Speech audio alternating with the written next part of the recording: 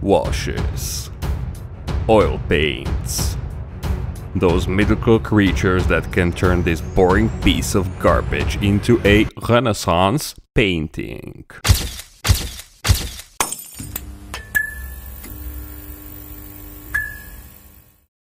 What's up guys, so like you might have guessed, this video will be about adding washes and blending oil paints. Like I said in the last video, Char B1 must have been made for washes with those bolts, rivets and panel lines, so I will start exactly with that. Just like before, I will use my old bottle of MIG Productions Dark Wash. The bottle is very tall, so it's easier to pour some into the palette and put the bottle aside. And as usual, two pools of enamel thinner, one for blending, the other one for brush cleaning. I'm gonna demonstrate this technique on the side of the hull. It has everything you can dream of, bolts, rivets, panel lines, raised details, and this is where the gloss coat applied in the last video becomes very useful. I can apply the wash over the entire side and it will be easy to remove even hours later. That can be a bad thing if you want to work super fast or even fully paint the model over a weekend, but well, that's not my case, as I'm notoriously known as one of the slowest modelers on the planet. I also found out a cool hack when you're applying wash around bolts or rivets. If you touch the detail with your brush from the side, it will leave a large stain and the cleanup will be more tedious. However, if you touch the detail from the top, the wash will flow down its sides and additional cleanup will be almost completely unnecessary. And by the way, I just cannot help myself, but I'm always just blown away how a simple technique like this can change the model so drastically. Let's now clean up this mess, shall we? The benefit of working in sections like this is that when you're applying the wash, the part where you started is already dry. So for example, this side took me, I don't know, about 10 minutes to apply the wash and by the time I was done with the wheels, the side of the hull was ready for blending. I should note that it's important to give the wash some time to dry, because it's much easier to clean it up that way. Trying to do it with wet wash will mostly end up by removing most of it, because the brush bristles will simply suck in the paint, and the entire process will be overall very messy. So always make sure the wash is dry and flat, not glossy.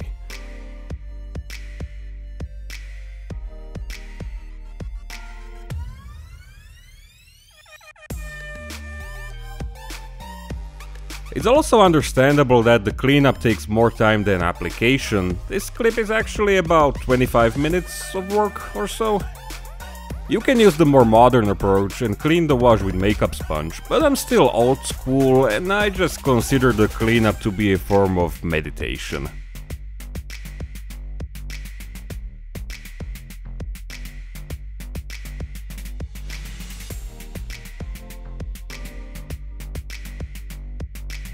Wash is also a fun technique because you are drastically improving the model and you can completely shut your brain off or watch a movie or something and you can, you know, use one eye to do that and the other eye to apply the wash. It's a complete no-brain technique. Small effort, great results.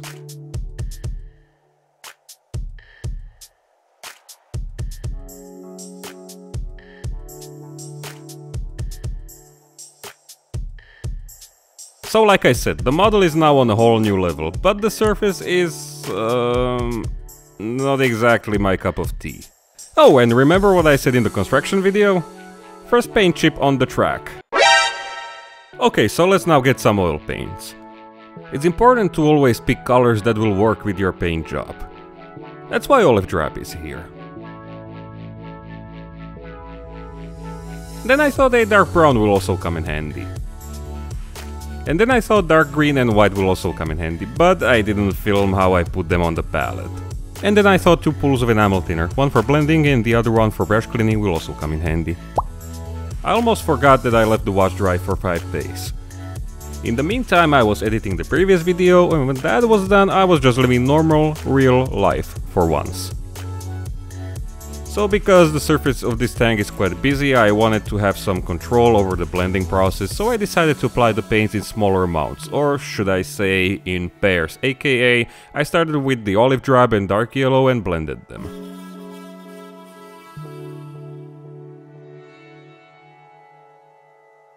Then I did the same with the remaining colors and I actually used the wash as a guide, so to say. In other words, I kept blending the oils only inside specific panels, which didn't just result in more interesting surface, but also very faintly distinguished the panels from each other.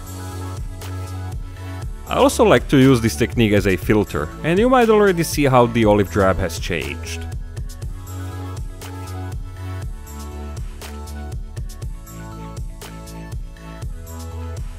Now I went for a slightly different technique and I applied the oil paint specifically where I needed them. This was done mainly with the dark brown and shadow brown to lay down the foundation for future effects like heavier layers of dirt and grime, which I observed from reference photos. This doesn't just make the model much more interesting at this stage, but will also add more depth to the upcoming weathering steps.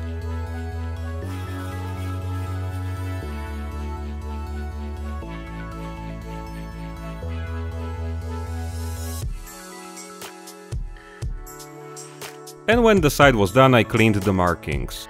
This is crucial especially on sand colored or yellowish tanks where the oils could change the markings into an ugly yellowish off-white color.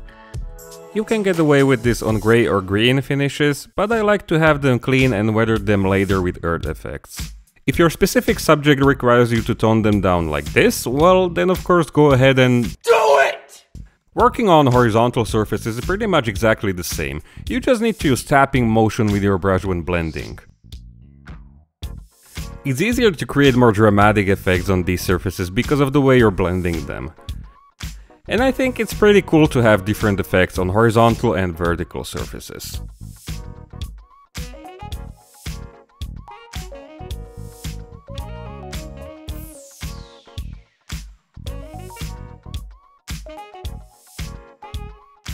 I also painted fake shadows around the engine hatches. You can call them fake shadows or stains or whatever, but they're basically a simple way to make larger details stand out more. The effect gets toned down later in most cases, but sometimes it serves as a base layer for more dramatic effects like fuel or grease stains.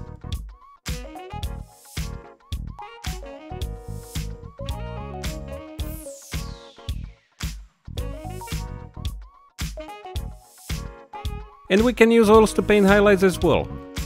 Here I'm adding a yellow gradient to the upper sides of the turret to gently stress out its shape. And we also have more paint chips on the tracks.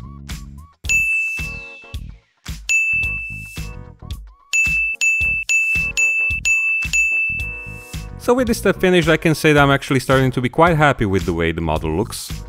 This might be a bold statement, but I feel like if I painted the details like antenna, tracks and exhaust, I could leave it like this and it still would look quite presentable. Some subjects are just great for these techniques and when done carefully, a wash and a few blended oil dots can make a model look like a finished piece. But truth be told, we're not even halfway to the finish, so the next video will be about chipping, more specifically about the first light layer and the dark steel chips, and then the next video will be about rust and maybe something else, but I'm getting ahead of myself. Anyway, I hope you liked the model so far and if you enjoyed this video and maybe got just a tiny bit inspired, you could make me happy by liking the video and sharing it with someone you think might enjoy it as well and subscribing if you haven't yet because there's so much more where this came from. Thank you guys so much for watching and I'll see you mates in the next one.